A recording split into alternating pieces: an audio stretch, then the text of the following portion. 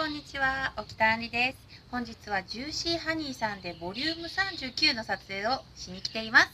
えっとこちらでは、えっと、すごく可愛いチャイナの衣装とか可愛い髪型とか素敵なメイクをしていただいて、えっと、スタッフさんと一緒にすごく和気あいあいと楽しく撮影しています。えっといろんな経験をさせてもらえるジューシーハニーさんとっても大好きです。皆さんぜひイベントある時は見に来てくださいね。あ来てくださいね。待ってます。